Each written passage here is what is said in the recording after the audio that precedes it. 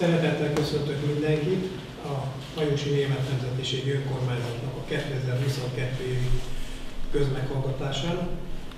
Most már ugye szerencsére tudjuk tartani, tehát nem akadálya közmeghallgatásoknak sem a járvány, sem az esetleges hideg idő, hogy nem tudunk fűteni.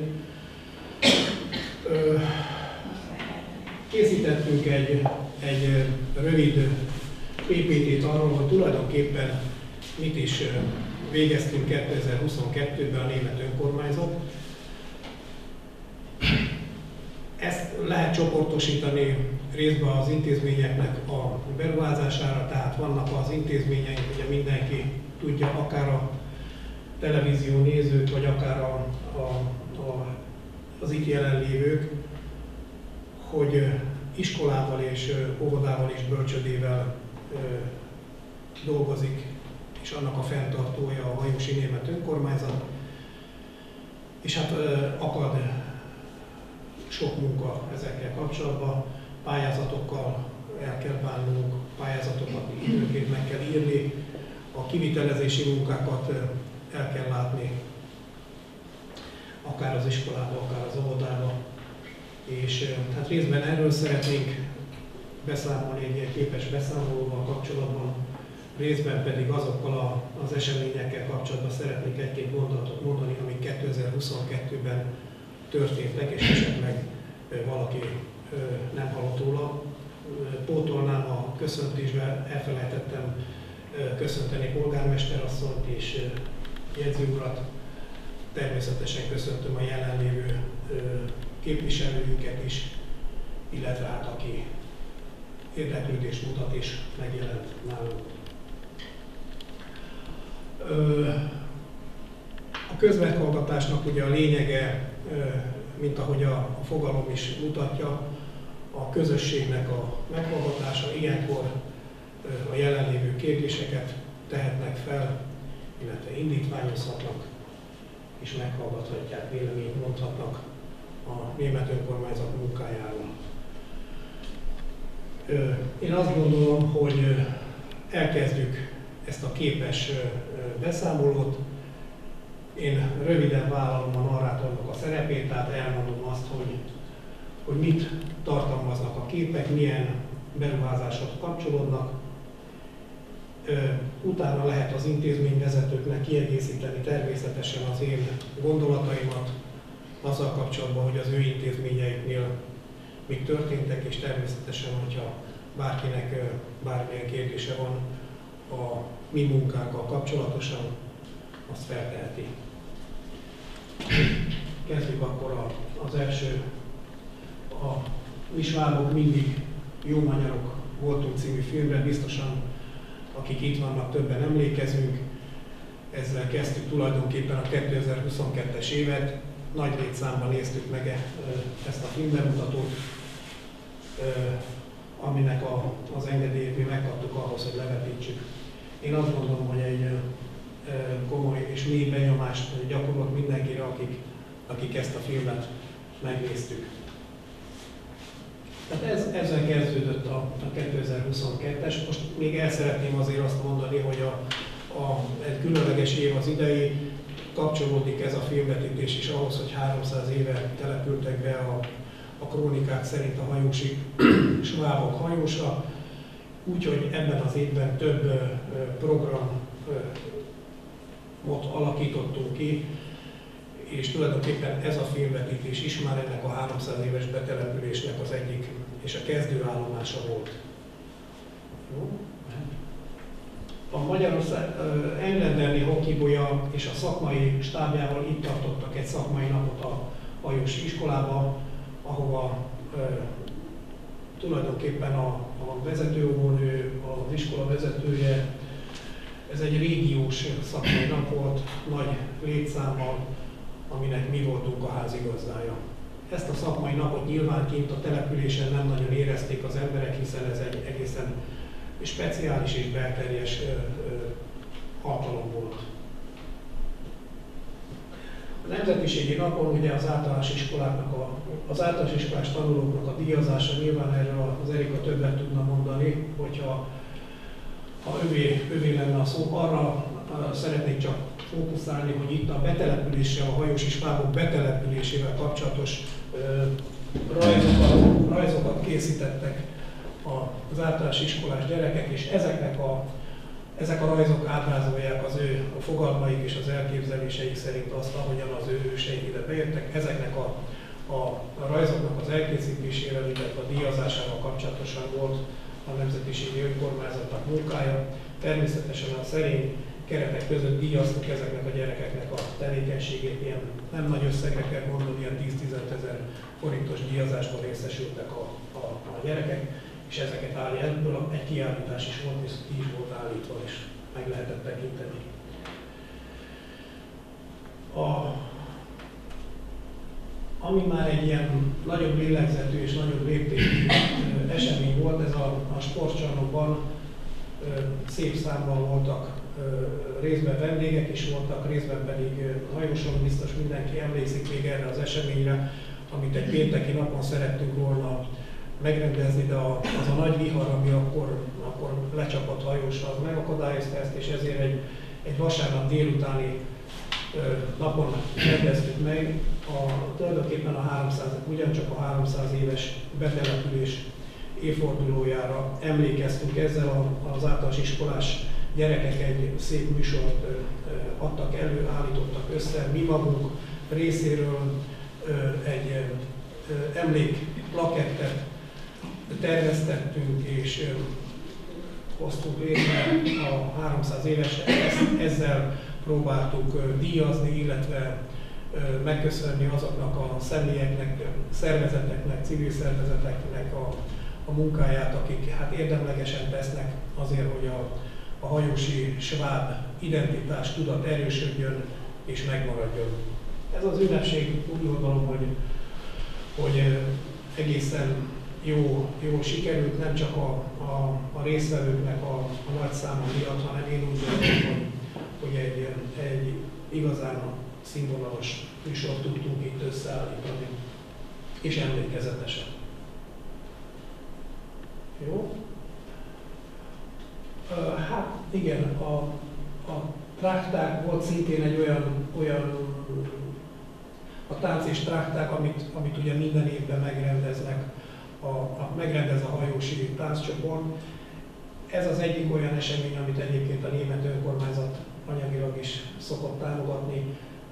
Ebben is például ugye az a szűkös költségvetés, amivel mi rendelkezünk, ez körülbelül hát olyan 2 millió forint körüli összeg, amivel a német önkormányzat rendelkezik. Ezzel az összeggel tudjuk támogatni azokat az eseményeket, amiket a, akár az énekkarok vagy a tánccsoportok megrendeznek, és ez is az egyik olyan esemény volt, nagyszabású esemény volt, szépen összeértek a táncosok, szintén a német önkormányzat támogatta. Erről valószínűleg a Király István tudna többet beszélni, de hát ő most nincs közöttünk.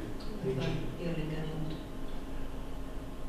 A Hirlingeni út támogatása, a tán, igen, tehát a, a, és benne van a Hirlingeni út, igen, azt nem láttam, tehát egyrészt a tánc út trágtág és a Hirlingeni út, ahova a táncosok kimentek, tudom, három-négy napra, ugye, körülbelül, és ennek az útnak is, ezt az utat is részben támogattuk anyagilag nem nagy összeg, azt hiszem 100 ezer forinttal támogattuk ezt, a, ezt az utat is, amit megtettek oda ki. Jó? A Fekedi Német Önkormányzattal egyre szorosabb kapcsolatot ápol a hajósi német önkormányzat, köszönhetően az egyik ö, énekkarnak. Itt éppen a, a hajósi iskolába írtunk alá velük egy ilyen együttműködési megállapodást. Hát ez egy ilyen nagyon jól csengő kifejezés az együttműködési megállapodás, de valójában ezt úgy kell, úgy kell elképzelni, hogy hát kölcsönösen meghívjuk, meghívják egymást az önkormányzatok a rendezvényeikre, ahova szívesen el is látogatunk. Én magam is voltam Fekeden egy rendezvényen, ők is jártak itt nálunk, úgyhogy a polgármester asszony beszélt a Fekedi polgármester úrral. Tehát tulajdonképpen megismerjük azokat a azokat a, a önkormányzatokat, akik nem a mi közvetlen szomszédságunkban vannak, mint a hajós császártöltés, hanem mondjuk a baranyai német önkormányzat. Fekedről csak annyit kell tudni egyébként, aki nem tudná, hogy egy nagyon pici baranyai falu, körülbelül 150 lakossal, érdemes egyébként megnézni, mert nagyon szép, takaros településről beszélünk. Hát, sváb település, német település. A, a kitelepítési emlékmű nem kifejezetten ugye ehhez az, évhez, ehhez az évhez kapcsolódik, de erre az évre esett ennek a, az emlékműnek a, a, az átadása. A német önkormányzat itt is próbált anyagi lehetőségeihez, lehetőségeihez mérten támogatni, 500 ezer forinttal támogattuk, illetve pályá, nem pályáztunk, bocsánat, pályázattal a városi önkormányzat pályázat, mi a, a, az ismerős német polgármestereken keresztül még egy millió forinttal tudtuk ezt támogatni. Nagyon nagy, nekem személyesen nagy örömömre szolgált, hogy ez a kitelepítési emlékmű megvalósult. Én úgy gondolom, hogy hajós egy, egy igen nagy hiányosságot pótolt, hogyha ugye a környező, vagy hát akár a magyarországi német nemzetiségi településeket nézem, ahol ezeket a kitelepítési emlékműveket már át tudták adni, vagy fel tudták szentelni, és én, én kifejezetten örülök annak, hogy, hogy most már nálunk is van ilyen, és amikor nekem például vendégeim vannak, akik, akik a településre kíváncsiak, én mindig nagyon büszkén el szoktam őket ide kísérni, és, és büszke vagyok arra, hogy ez nálunk megvalósult.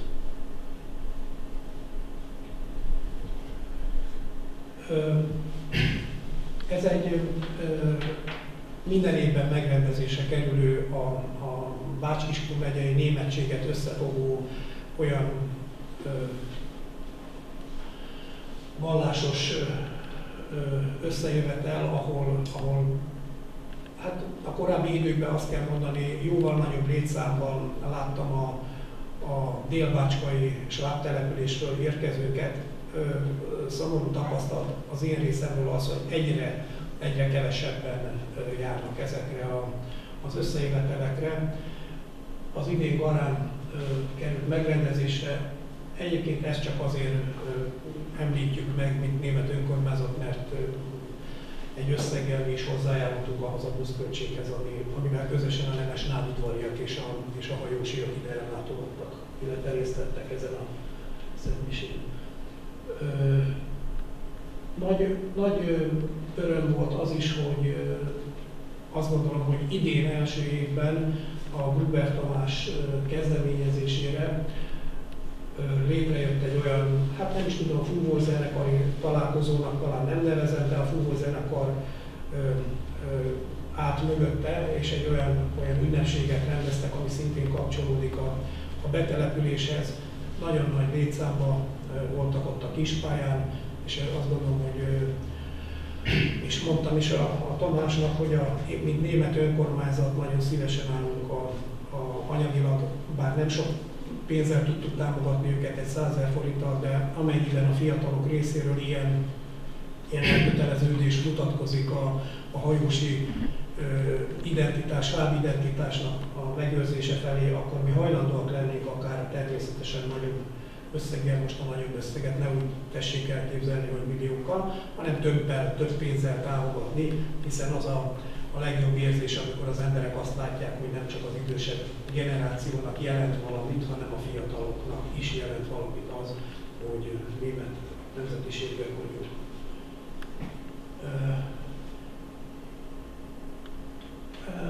Ez melyik is volt, Erika? Ez a... Szeptember 15. Ja, ez a szeptember, ez, ez egy kórus találkozónak a képe, igen. éves. Igen. Itt a lánycsókiak, a fekediek, ugye? Igen, szárkai. És a szárkai. A lánycsókiak.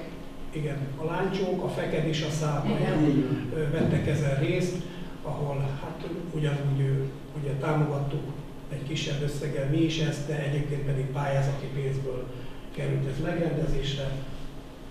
Ezek mind tulajdonképpen olyan életképek és pillanatok, amik, amik azt mutatják, hogy hát talán, talán valamennyire próbál a, a német önkormányzat, illetve a civil szervezetek próbálják talán ezt a, a nem is tudom, nem asszimilációnak nevezem azt, mert hát tudomásul vettük azt, hogy, hogy egyszer csak a, a németségünk való, valóban, úgy gondolom el fog egyszer csak tűnni. Próbáljuk ezt, ezt, a, ezt minél hosszabb, hosszabbra nyújtani, amíg a, amíg a, a németség ugye, ugye meg, meg tudna maradni, a gyökereihez vissza tudna kapaszkodni, próbálunk ünnepségeket szervezni, de azért azt, azt tehát nem dugom én sem a, a homokba a fejemet, én is látom azt, hogy tulajdonképpen egy olyan generációváltás ö, tanúja vagyok, amikor még azt láttam, hogy a nagyszüleink ugye a, a, a viseletet nem ünnepnapkor húzták fel, hanem az egy állandó viselet volt. A hajós is nyelvet ugye nem csak különleges alkalmakra használták, hanem az, az a mindennapi használatban bennük volt. Én is látom azt, hogy, hogy lassan eltűnnek ezek, ezek a jelenségek.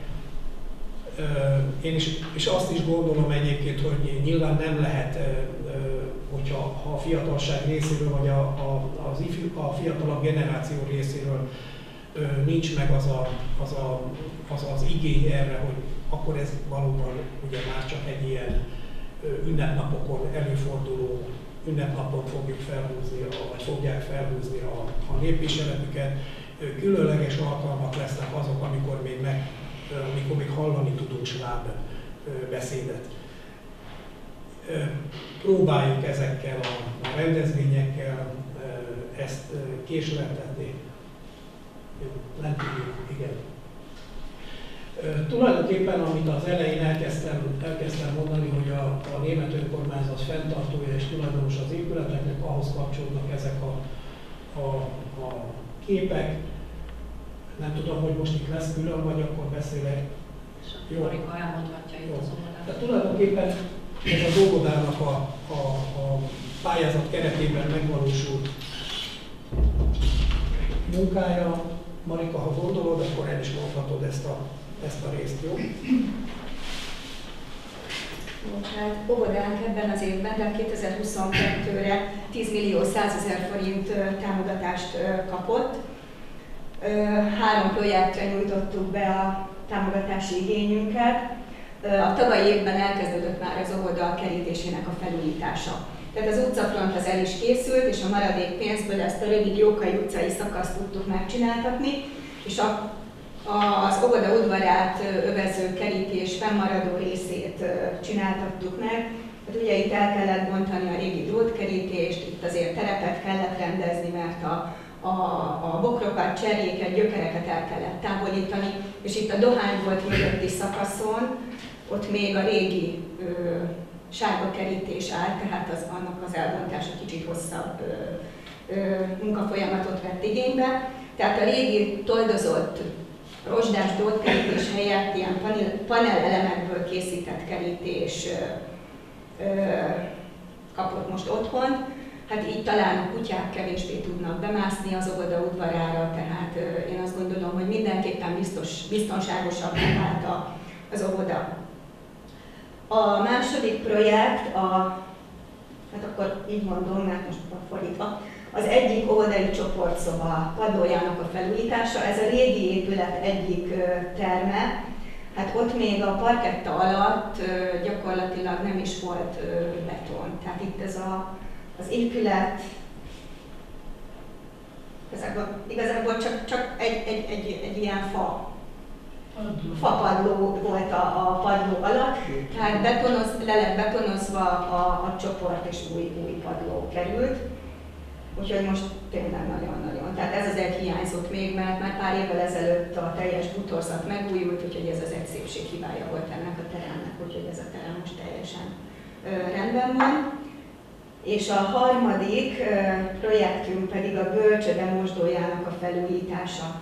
Hát az, az, hát azt kell, hogy mondjam, hogy hát talán, hát lehet, hogy amikor épült az épület, azóta nem nagyon történt ott változás, tehát én azt gondolom, tehát erre vagyok a legbüszkébb, mert én úgy gondolom, hogy egy igazán barátságos, vidám kis helységet kaptak a bölcsödések. Ez egy elég kicsi terem, de az összes csővezeték a falon kívül húzódott. Tehát itt megoldották a szerelők azt, hogy a falba sűjesztették a csöveket, tehát az végre nem látszik. A radiátort, a fűtőtestet kellett áthelyezni, pont nem látszik a itt volt egy ablak, itt van egy radiátor, ezt kellett áthelyeznünk a fal mellé, hogy ki tudjuk alakítani a zuhanyzót, ami eddig nem volt, tehát az előírás, tehát a bölcsődéhez kötelező, hogy legyen zuhanyzó is. Tehát így a, a zuhanyzó is megvalósult, új WC csészék, új ülőkép, új tartályok kerültek felszerelésre, és hát új metlaki és csemper díszíti a falat, úgyhogy én azt gondolom, hogy, hogy tényleg egy nagyon, nagyon kis, szép és barátságos helyiségünk született. Úgyhogy a pályázat keretében ennyi, ennyi történt. Most egy-két dolgot, ha még mondhatok a pályázaton kívül, ha már én beszélek, a költségvetésből is néhány nem túl nagy beruházásokat valósítottunk meg, de hármat szeretnék kiemelni. A az öreg épület előtti bejárat részen a metlaki már nagyon tehát eltört és felpúposodott. Tehát ott az balesetveszélyes volt, mert könnyen elvághatták volna a gyerekek a lábukat, tehát ott azt kicseréltettük, újra lett betonozva, és, és új metlaki került oda. Nagyon kevés, vagy kicsi volt már az udvari játéktárolónk mérete, tehát a, a játéktároló mellé egy mobilgarást vettünk, és az alá is egy beton alap került, valamint, hogy a baleset megelőzés is, tehát az is nagyon fontos ennyi kisgyerek mellett. Faápolókat hívtunk, ebben Szalcer Bálint volt a segítségünkre, tehát 8 fát kezeltek le a szakemberek, tehát itt eltávolították a száraz ágakat, ritkították, Hát a fennmaradó fákat is majd a következő évben szeretnénk még megcsináltatni, hogy biztos, hogy ne kelljen attól félni, hogy egy ilyen nagy vihar alkalmával letörjenek az állak, és bármi komoly probléma előfordulhasson. Én ennyit szeretnék az óvodával kapcsolatban. Menjünk tovább. Ja, 25 hetedik osztályos gyerekek minden évben megrendezésre kerülnek ezek a eddig legalábbis pályázat, részben pályázati pénzből, 1 millió 800 ezer volt ugye a pályázati pénznek az összege, amit, amit erre az útra nyertünk.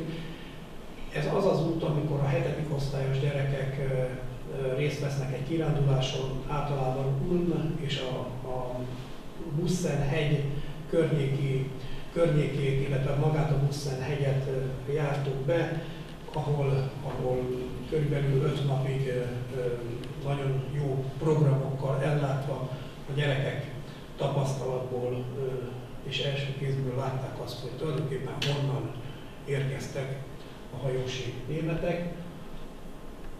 Ezt a kirándulást, ahogy mondtam, 1 millió 800 ezer forint volt a pályázati pénz, a német önkormányzat hozzátett 400 ezer forintot, a szülők gyerekenként 20 ezer forinttal járultak hozzá, és 600 ezer forintot pedig a, maga az iskola saját költségvetéséből. Tehát nem, nem olcsó utazás ez, tehát egy, de én azt gondolom, hogy öt napra teljes ellátás, és hogyha úgy gondolkozunk, hogy bizonyára vannak olyan gyerekek, akik életükben nem sokszor fognak eljutni ezekre a helyekre, akkor én úgy gondolom, hogy ez, egy, ez nagyon megéri a gyerekeket ide kivinni, és én remélem, hogy, hogy ha nem is életre szóló élményeket, de sokáig megmaradó élményeket szereztek ezzel a kirándulással. Egyébként én magam is ö, ö, tapasztalattal gazdagon érkeztem vissza jó, következő.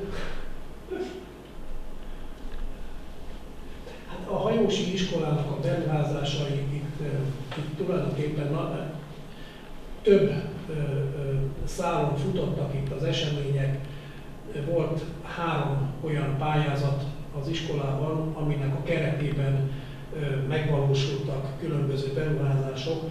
Itt azt, lát, azt látjuk, azokat a, a Különösen az informatika terem újult meg nagymértékben, ott tehát a, a, a butoroktól kezdve a, a, a linoleum padlóig, ezen kívül az alsós minden alsós teremben a parkettát kicseréltük, és olyan padlót, olyan linoleum padlót fektettük le, ami hát én úgy gondolom, hogy sokkal egyrészt barátságosabb, másrészt pedig sokkal kényelmesebb és könnyebben tisztítható, takarítható, úgyhogy fenntartóként még az a, az a tervem, hogy a maradék, hát nem is tudom, talán egy hat tanterem van, amiben még parketta van, amennyiben ugye lesz lehetőségünk, akár pályázati pénzből vagy saját forrásból, akkor tulajdonképpen a, a hajósi iskolának minden tervét meg tudtuk úgy oldani, hogy a parketta helyett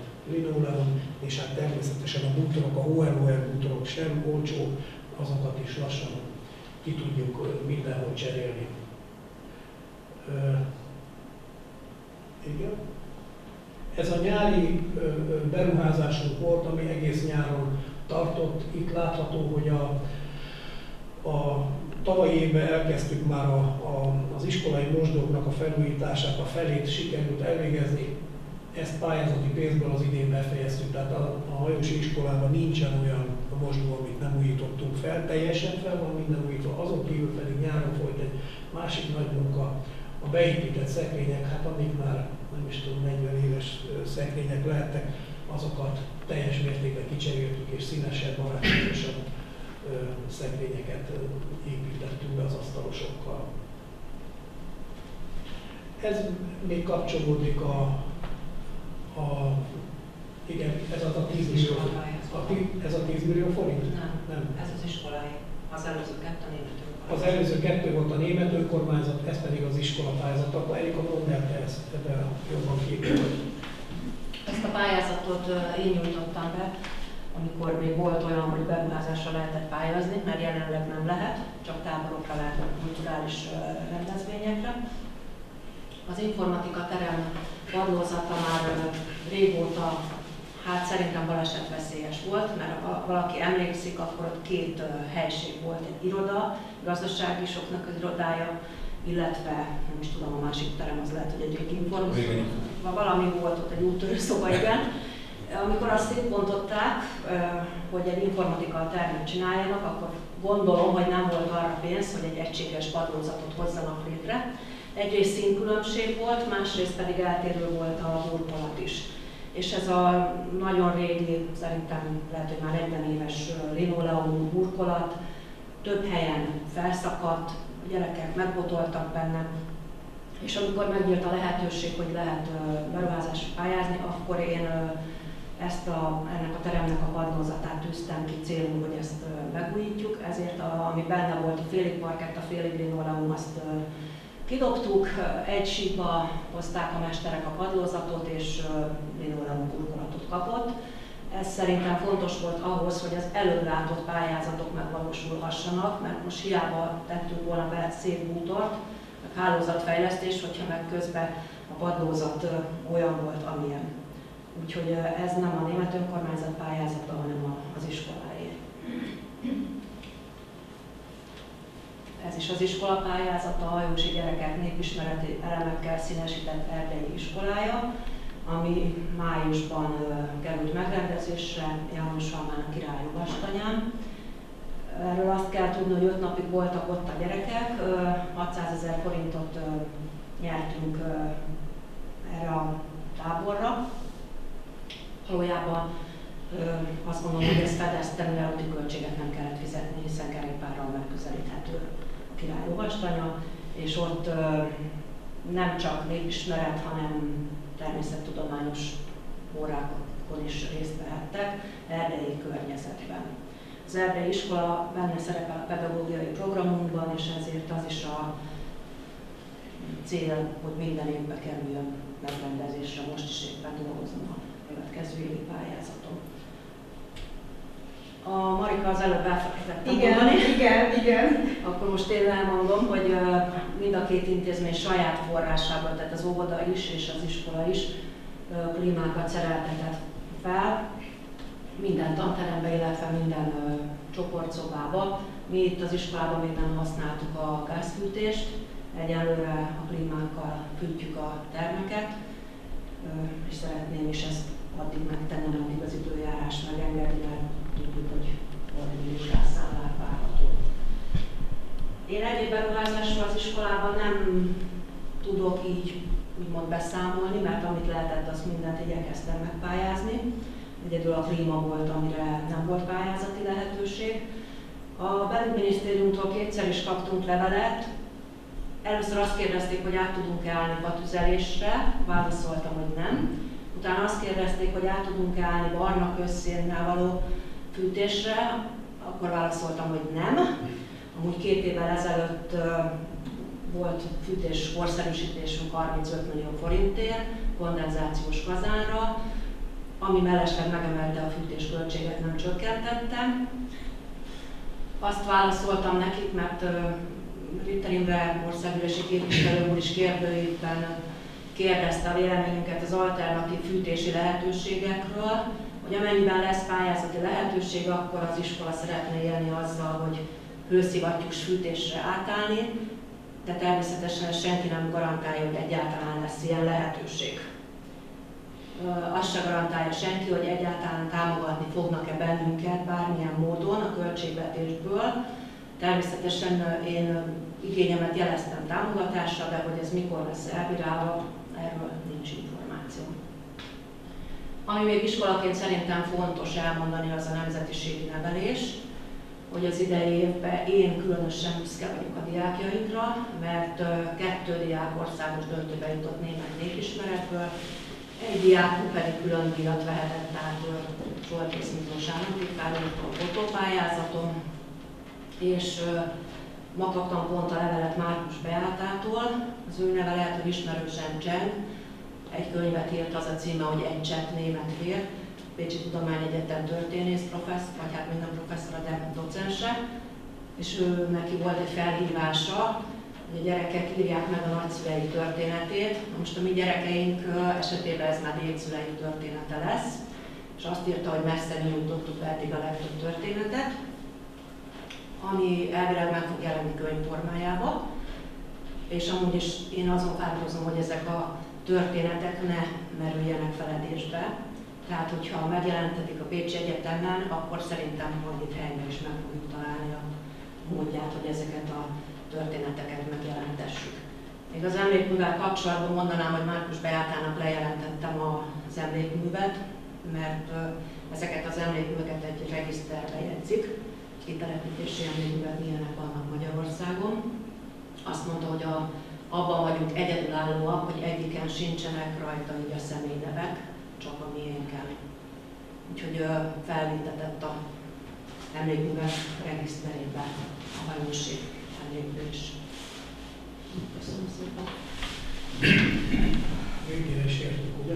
A képekkel. A képekkel, Ö, tehát a, a német önkormányzat részéről ezt a, a képes úti beszámolót tulajdonképpen most befejezetnek tekintem.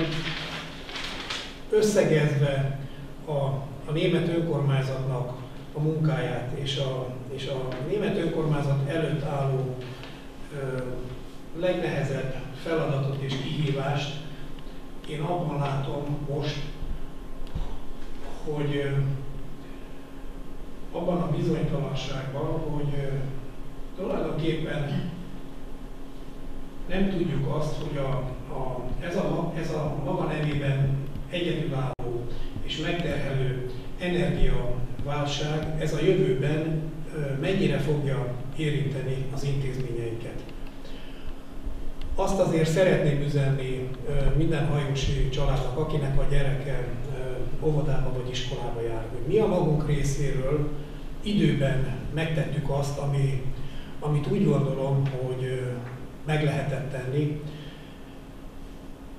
Részben biztosítjuk azt a, a gyerekeknek, hogy, hogy meleg, fűtött helyiségekbe jöhetnek el, bár a, az iskolai folyosó, ugye a radiátorok nincsenek bekapcsolva, de, de ahol most vagyunk például, mindenki érzi, hogy egy klímafűtéssel tökéletesen meg tudjuk oldani a fűtést. Hogy meddig, az természetesen én nem tudom, hogy majd mínusz 20 fokoknál ezek a klímák hogy fognak működni. Tehát nekünk nagyon oda kell most figyelnünk arra, hogy amikor mi nem tudjuk a, a klímafűtéssel ö, biztosítani a, a, a termeknek, és ebbe beletartozik egyébként az óvoda is, hiszen mind az óvodába is és az iskolába is minden termet ellátunk, ezzel gondolva arra, hogy nem fogjuk tudni kifizetni, ha nem lépjük ezt meg, nem fogjuk tudni kifizetni a, a gáznak az árát. Én magam is kaptam telefont Budapestről, a miniszterelnökségtől, főosztályvezetőtől, aki, aki hát ugyanúgy kérdezte, hogy, hogy hogy fogjuk mi ezt megoldani, a kérdőívekre válaszoltunk-e, hogy fog a, a hajósi intézmény fűteni az óvodák és az iskolák, és amikor én mondtam neki, hogy én úgy gondolom, hogy mi ezt eléggé megnyugtató módon rendezni tudtuk, hát akkor ő hát tulajdonképpen gratulált ehhez, mert azt mondta, hogy a többi iskolák, akikkel ő egyébként felveszi a kapcsolatot, és akiknél érdeklődik, hogy a fűtéssel hogy fogják tudni átvészelni az iskolák és az óvodák ezt a telet, hát bizony ö, nem tudják. Részben így, részben úgy. Én e tekintetben optimista vagyok, és azt gondolom, hogy a mi intézményeink, ahova a hajósi gyerekek járnak, ezzel, ezzel a megoldással, és nem kellett a fatüzelésű kájhákat egyelőre berakni valahova, nem kellett széntüzelésű kájhákon gondolkodni. Én azt gondolom, hogy ameddig lehet, természetesen a, az áram sem olcsó, de abban bízom, hogy az a napelem park, ami fent van a Hajósi Általános Iskolán, hogyha még szerencsések vagyunk, akkor talán azok a napelemek is megtermelik majd azt az áramot, amit egyébként a, a klíma használattal mi elfogyasztunk. Zárszóként azt szeretném mondani, nem tudom, hogy a, a, a gáz fűtésre, hogyha rákényszerülünk, mert mondjuk a mínusz 20-ban nem bírják a klímát, nem tudom, hogy az mennyibe fog kerülni, nem tudom, kapunk-e erre vonatkozóan kompenzációt, ha erre szükségünk lesz, Úgyhogy azt gondolom, a német önkormányzat, mint fenntartó időben megtette azokat a lépéseket, amik a, amik a, a biztonságos és nyugodt tanítás, illetve az óvodában, a gyerekeknek az óvodába járatásához szükséges volt. Ilyen szempontból azt gondolom, hogy és nem magunkat akarom dicsérni, hiszen én is körbe kérdezem a szomszédos településeken élő vagy lévő iskolákkal kapcsolatos dolgot, és bizony ma pont a Nemesnád variakkal beszéltem, és mondták, hogy az óvodában egy teremben van, ők gázzal fűtenek még minden az óvodában, egy teremben van klíma, az iskolában két teremben, megpróbálnak majd még most klímákra átállni. Úgyhogy én azt gondolom, hogy mi időben megléptük ezt, és nagyon bizakodó vagyok, hogy, hogy a költségeink nem emelkedni fognak, dacára annak, hogy ilyen magasak az energiárak, hanem esetleg ha szerencsénk van, akkor csökkenni is fog. Megköszönöm mindenkinek, aki eljött, és ha bárkinek kérdése van a mi munkánkkal kapcsolatban, az, az nyugodtan tegye fel. Polgármester. Köszönöm szépen, én is köszöntök mindenkit. Csak a legutóbbi gondolathoz szeretnék egy kis kiegészítést tenni, egy picit hozzáfűzni. Valóban mindenki számára mostanság fejtörést okoz, hogy vajon mi lesz az energiaárakkal, hiszen nem több hónapra, hanem talán azt mondhatom, hogy napokra sem tudunk előre tervezni, de ami itt elhangzott, hogy az iskolában is és az óvodában is a mai napig még a klímákkal tudnak fűteni, ez csak megerősítette bennem azt a döntést, hogy ezek szerint azt az elhatározást, azt a véleményt, hogy ezek szerint néhány évvel ezelőtt, amikor még a városi önkormányzat szeretette fel a napelemeket az óvodára is és az iskolára is, akkor jól döntöttünk, és igyekeztünk biztosítani a mindenkori intézmények számára azt, hogy úgymond több lábon álljunk az energiafelhasználás tekintetében. Így elérkeztek azok az idők, amikor most ez e, nagy-nagy hasznunkra válik, és én örülök annak, hogy ennél a két rendkívül fontos városi intézménynél még a városi kormányzat meg tudta teremteni azt a lehetőséget, hogy most bizony ne kerüljünk bajba. Szerencsére ugyanez van a polgármesteri hivatal épületén is, tehát ott is a mai napig ugyanezekkel a berendezésekkel fűtünk. És örülök, hogy az iskola és az óvoda most él ezzel a lehetőséggel is használja. Köszönöm szépen! Köszönöm szépen. Valóban ezt csak megerősíteni tudom.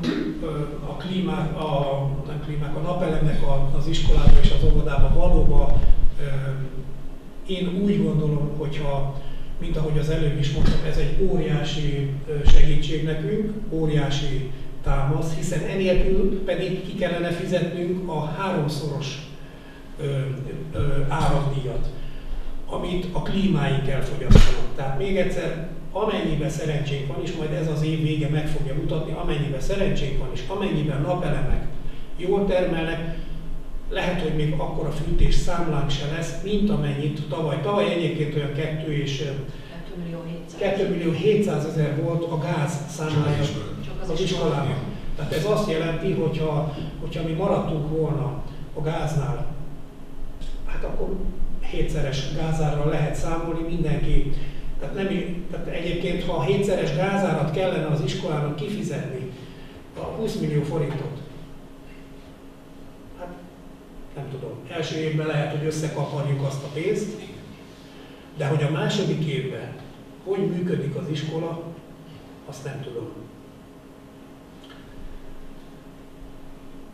Úgyhogy igen, egyetértek polgármester asszony, ez egy nagy segítség, és ki is használtuk ennek az előnyét, és erre építettük föl ezt az egész klímával való fűtést, hogy talán nem fog nekünk ez pénzbe kerülni, bár azt hozzáteszem, hogy a, a, a napelemek, ugye azok termelik ugyan az áramot, de most termelik ki, hogy a felső sor nem termel, tehát egy biztosítékot ki kell cserélni. Igen. Ezzel kapcsolatban még egy, egy gondolatot szeretnék csak elmondani, hogy mennyire mennyire meg, tehát mi is megfogjuk a pénzt, illetve hogy velünk kapcsolatban is a kormányzat mennyire megfogja a pénzt. Kaptunk egy, egy felkérést a, a Ritter Imrétől, az országgyűlési képviselőtől.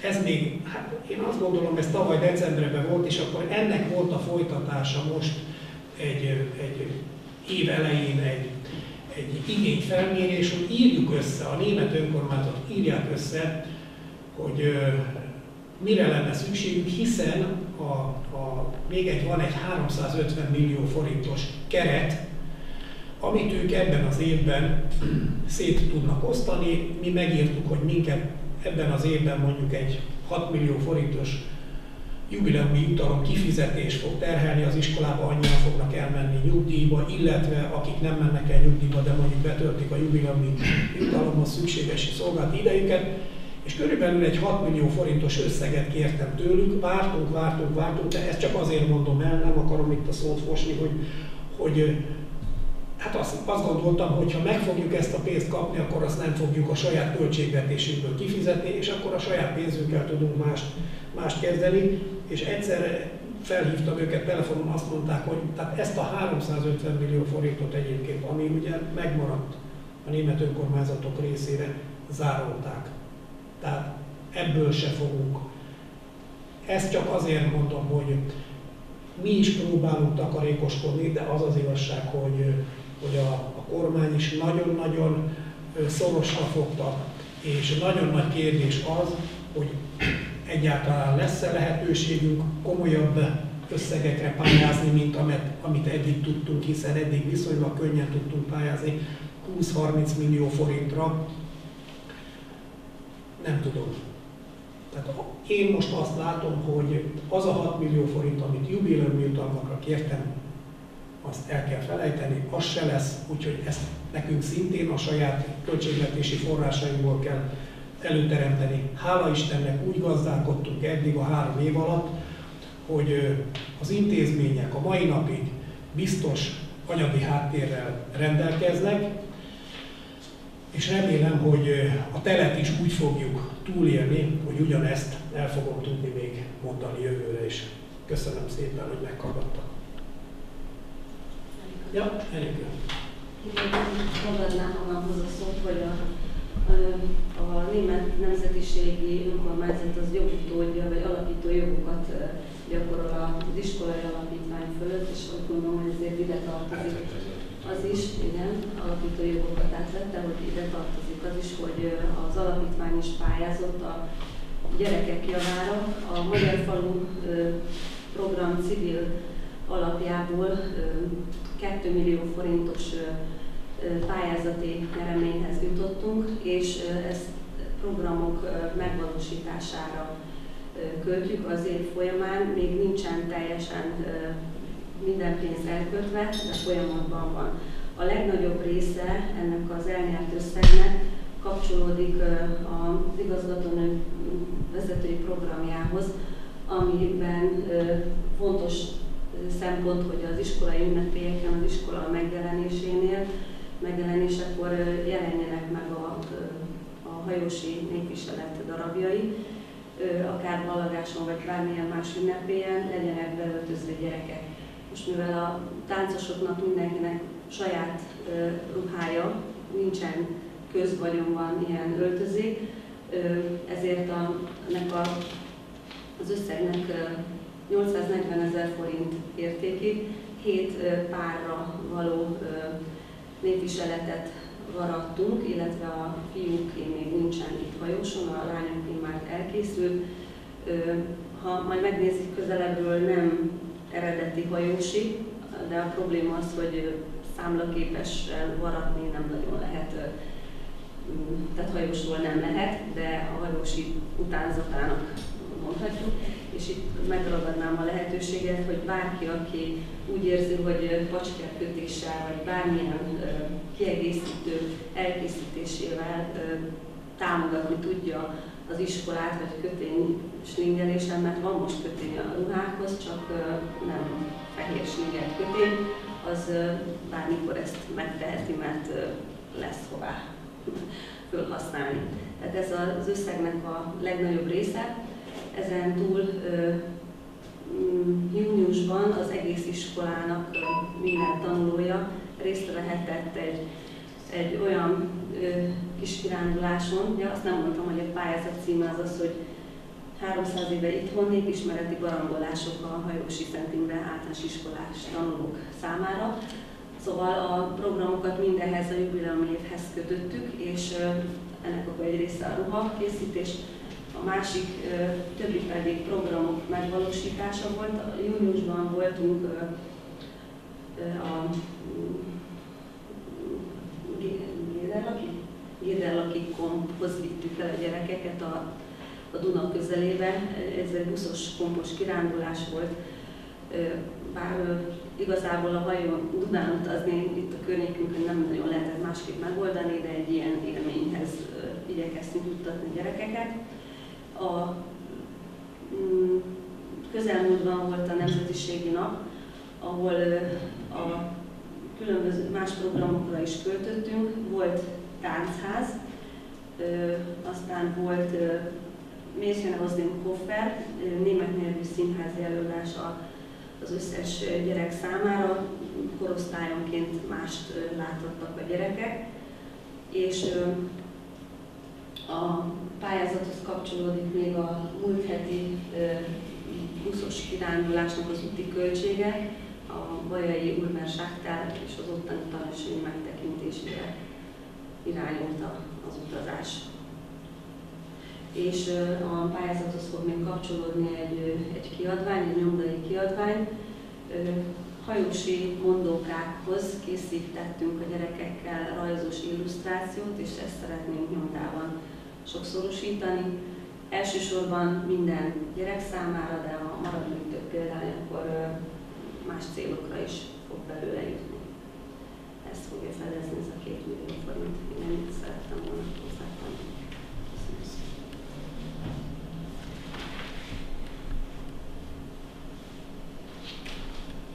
Mária, nincs kérdés? Észrevétel. Köszönöm szépen. Elég hosszan ecsetelted azt, hogy, hogy miért kellett csinálni, vagy miért jó, hogy csináljuk ezeket a énektalálkozókat. Szóval olyan fantasztikus élmény svábokkal találkozni. Tehát aki tényleg svábnak született, annyira nagy élmény átélni azt, hogy akár hova hívnak bennünket ilyen találkozóra, vagy ide jönnek. Tehát ez egy felejthetetlen nagy élmény. És jó, hogy ilyenre tájékozok, tehát tényleg vannak lehetőségek. Hogy én hány embernek elmondtam már az idegeneknek, hogy milyen jó megint svábokkal találkozni. Na most én szerintem ezek az utolsó évtizedek, mi vagyunk az utolsó mohikánok, nagyon szép, hogy ezt, ezt most megkapjuk még. Tehát van, amikor nehezebb helyzetek voltak, ha most, most ez a helyzet megoldódik, az öregkorunk szépül meg tőle.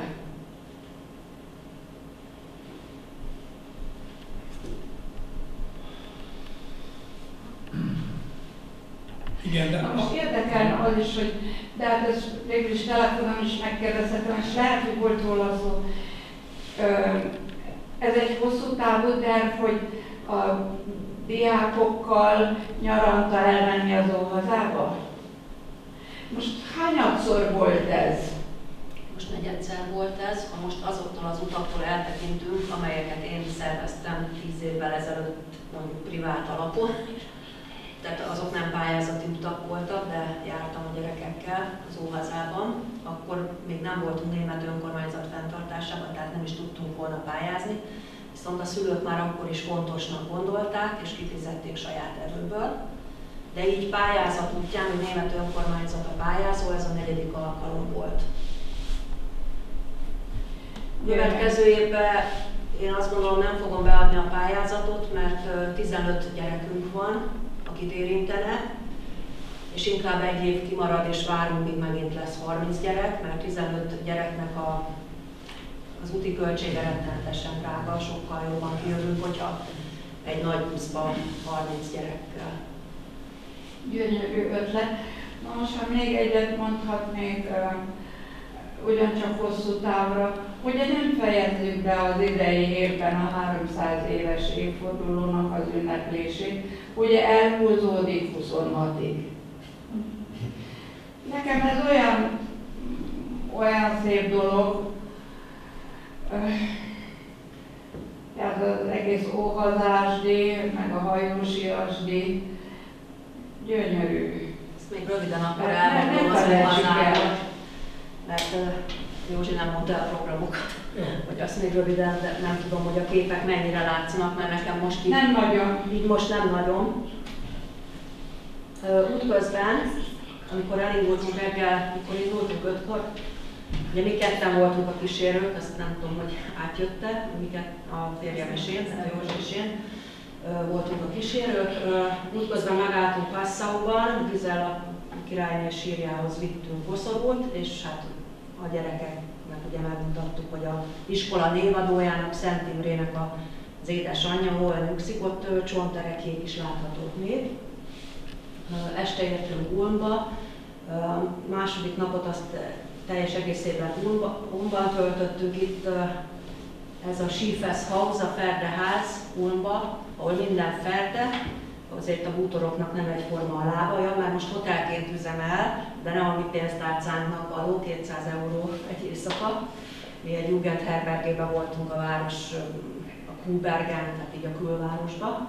Aztán elmentünk az Ulmer Münsterbe, ami szerintem a világ egyik legcsodálatosabb temploma, de hogy a legmagasabb katolikus, vagyis keresztény, nem bocsánat, evangélikus keresztény temploma és aztán a Józsi volt olyan bátor, hogy bevállalta, hogy 15 gyerekkel fölmászott a toronyba, addig rágták a fülét. Mondtam, hogy én én nem tudok fölvenni velük, úgyhogy ők, ők itt felmentek a toronyba. És akkor minden nem tudtam rátenni, de természetesen Donauufer, Donauschwäbisches Zentralmuseum, Auswanderung Denkmal, Fischerviertel, ezeket mind megnéztük ott Ulmba. A következő nap az ugye nagyon nagy izgalommal telt, mert mentünk a Bussenre, Előtte még próbáltunk a szálláson, mert a gyerekek itt látszik, hogy a Bussenháliba előadták megint ezt a színdarabot, amit itt hajóson, csak most német közönségnek. És én úgy láttam a közönségen, hogy nagyon meg voltak lepve, hogy ezek a gyerekek ilyen ügyesek. Tehát én nagyon-nagyon büszke voltam rájuk. Mindenki kapott is egy igazgatói dicséretet, mikor hazajöttünk, mert nagyon, tehát tényleg nagyon szépen előadták, és, és azt mondom, hogy tetszett a közönségnek, különösen itt sokan ismerik Albert Menrádot, Bussenfahrert, Uh, igen, itt ezen az aprócska képen látszik pont, hogy átadjuk neki a díjat, mert ő nem tudott eljönni erre a júniusi díjátadóra, és akkor ezt is így meg tudtuk ejteni. Utána mentünk a Bussenkirchjébe, a Zapácával, Svester Marittával, ahol a hajósi szüzanyának is egy kopia, egy másolata látható. Oda vittünk egy virágot, amit Mari néni küldött, és énekeltünk és imádkoztunk is együtt. Aztán ez a ház itt Anna Maria Hálnak a szülőháza Dieterhofenben, ez a néni pedig itt középen, meg itt mellette is, ők leszármazói Anna Maria Hallnak. Nagyon kedvesek voltak ők is, Café Kuchernel fogadtak, és itt a Hállékban is nagyon királyi ellátásban volt részünk. A következő napot a Virágszigeten töltöttük, úgyhogy áthajóztunk Kompal a Bódelitavon reggel, hát csodálatos volt. És aztán itt egy kicsit két órára elengedtük a gyerekeket, kicsit kell nekik a szabadság, de csak párosával, és szigorúan meg volt, hogy mikor és hol kell jelentkezni, nem veszett el senki. Itt ugye, aki volt már Virágszigeten, az tudja, hogy különböző kompozíciókat raknak ki virágokból, mindig évszaknak megfelelően. Aztán másnap indultunk haza, és itt vagyunk a Salzburgba, a Sóbányába, ahol egy ilyen vonattal jutottunk le a föld alá, plusz még le kellett csúsznunk kettő vagy három óriás csúsztán, 200 méterre voltunk a föld alatt, egy ilyen föld alatti, tudom, hogy hívják ezeket, ilyen tavacska, de ugye a sót valahogy onnan nyerik, azt, azt megtudták a gyerekek, igen, hogy hogy kerül a só az asztalra, hogy nem csak úgy van, hogy onnan elvesszük, hanem van ennek egy története is. Ott tutajoztunk a föld alatt, meg voltunk fél lábbal Ausztriába, fél lábbal Németországban, mert hogy a határok a föld alatt is léteznek, ki volt írva, hogy Bundesrepublik Deutschland, Österreich. Aztán itt megebédeltünk, és utána jöttünk haza hajnal kettőkor értünk ide, szerencsésen. Igen, a programok szerintem jók, és, és megéri pályázni, mert a gyerekek azóta azt kérdezik, mikor megyünk vissza. Most szerintem két év múlva tervezzük újra. Még volna egy kérdésem. A családomnak is problémája, nekem is problémám az, hogy olyan most a szerencsém van, hogy eddig éltem, de ki tudja, hogy hol van a vége. Na most, itt van ez a, ez a rengeteg hajós anyag. Nem volt elég életem, hogy mind megírjam, ami anyag nálam össze van gyűjtve. Na most, svábul van összegyűjtve. Tehát én svábul csináltam a riportokat, kivéve akkor, amikor a Beretna és Zsuzsival együtt tehát ez egyszer egy óriás nagy gond, mert a sváb falu összesen vagy hét van Magyarországon, nem tudom pontosan, és hát, lehet, hogy más ki tudja olvasni. Én sem vállalkoznék egyébként mondjuk a nádudvariaknak szövegeinek a lefordítására. Mert nagyjából persze le tudnám fordítani, na de hát nem a finomságait. Most Szeretném, hogyha azon gondolkodna a hajós vezetősége, mind a két vezetősége, hogy, hogy mi legyen ezzel az anyaggal. Például az, hogy hova menjen ez az anyag. Tehát úgy, ahogy van, Állítólag minden fecnét is össze kell gyűjteni, na most fecném rengeteg van, szó szófecném rengeteg van, de hát kazetta minden mennyiségben, nem tudom hány száz.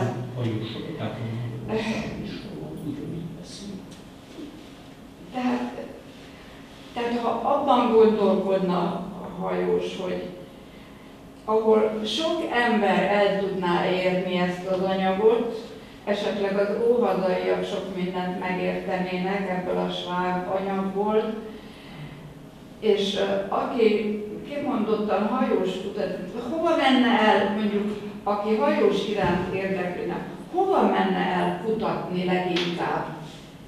Ma annyi hely fölmerült, most utoljára, akivel beszélgettem, azt mondta, hogy a Széchenyi könyvtárba. Aztán eszembe jutott a kalocsai Szüspöki palota, érseki palota. Szeretném, ha hajós ezen gondolkodna, hogy hogy férnének hozzá azok, akik éppen hajósra kíváncsiak, mert nagyon sok anyag van. Köszönöm. Előre is köszönöm.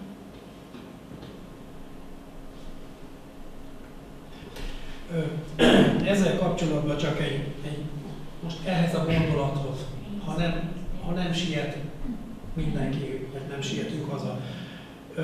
Nem olyan régen voltam Baján egy előadáson a Bárt Jánosnak nyilván sokan ismerjük Bárt János. És a Bárt János például arról mesélt, hogy ő, ő is nagyon sokat kutat. És ő például Erdélyben a hallgatóságnak arról számolt be, hogy ő Erdélyben a katolikus templomokban kutatott.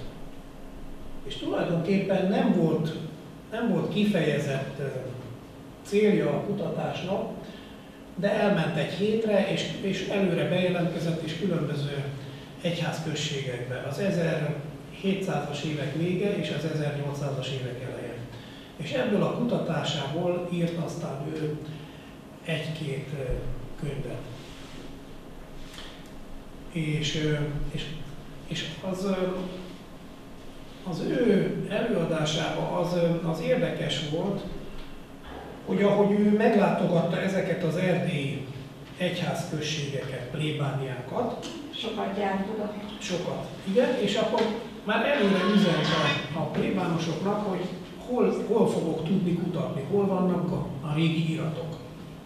És tulajdonképpen én azt szűrtem le a Bárti Jánosnak, és most ide, ehhez kapcsolódik a te, Mária, a te dolgod is, ugye, hiszen egy nagy anyag van a te birtokodban, és a Bárti János is azt kérdezte, hol találok én iratokat ahhoz, amiket én át tudok nyálazni, amiből én majd esetleg utána egy érdekes könyvet le tudok írni, mondjuk az erdélyi 1800-as évek elején az egyházközségekről.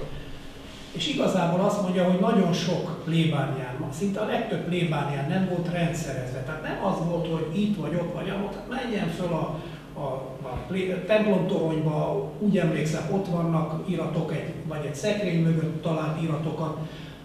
Tehát ö, ö, az, az, ahogyan ő, ő nem találta és nem tudott kommunikálni a kintiekkel, tehát nem, nem úgy találta meg az iratokat, hogy ott voltak valahol, hanem hát nézzem, én úgy hallottam, hogy, hogy a korábbi plébános odarakta őket, vagy én úgy hallottam, hogy ott voltak.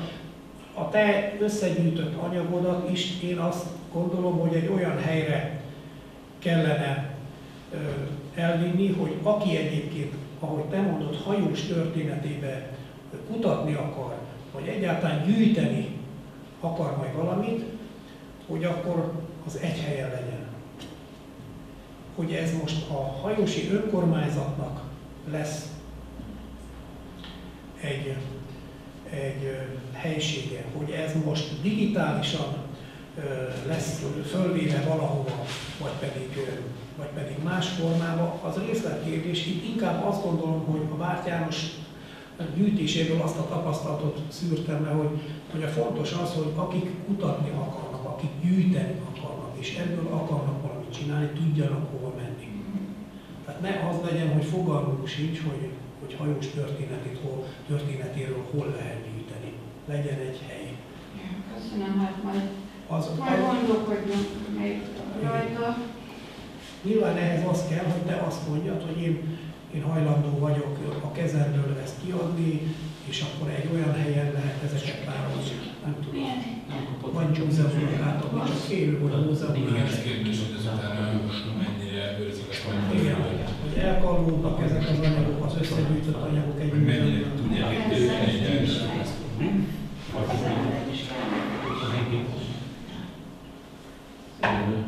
Tehát a kutatásokhoz annyit szeretnék azért hozzátenni, hogy a hajósi családoknak a családfáját németek, ha jól emlékszem, kétkötetes könyvbe tették közzé, és nagyon részletes. Tehát internetre is nagyon sok minden föl van rakva egyébként, csak egy kicsit keresgélni kell, de mondom, a kinti németek megcsinálták hajósnak a abraknak a anyakönyvi adatai alapján. Igen, és Nem akkor lehet még, még lehet. Nem lehet már venni belőle az a baj. Lehet Még nincs, nincs, nem lehet már. Nem, nem lehet Nem. Időhiány, személyiségi jogok. Ja, bocsánat. De az önkormányzatnál van példány, amit lehet tanulmányozni, és őt tudtam Kell venni már. Mi még hagyaték ügyekre is használjuk. Igen. Határozottan hasznos nekem, munkám, neked is, megvan, sokaknak megvan, igen. Én egyből tudnék bíret sorolni, akinek megvan.